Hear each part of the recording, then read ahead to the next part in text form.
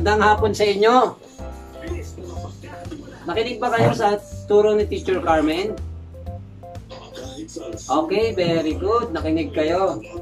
Ngayon naman, dadako tayo sa ating memory verse. Yan. So, magme-memory verse na tayo. Meron ba kayong mga Bible dyan? So, para sa mga walang Bible, makinig kayo kay Teacher Isko. Kay Teacher Isko, ano ba yung memory verse natin? Okay. Pakikuha nga yung memory verse natin. Yan. Ang ating memory verse, syempre, mababasa natin sa ating binabasang salita ng Diyos o yung Biblia.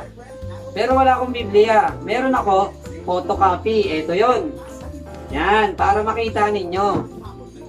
Sabi dyan, nakikita mo ba, Teacher Rachel? Yes. Okay, sabi dyan, For with God, nothing shall be impossible. Luke chapter 1, verse 37.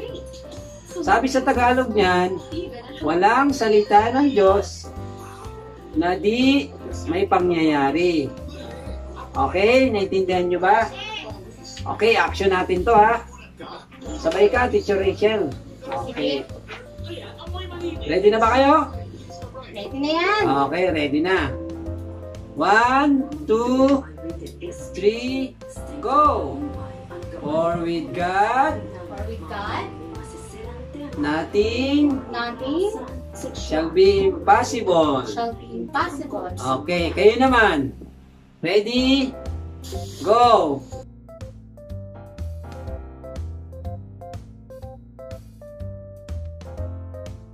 Okay, very good.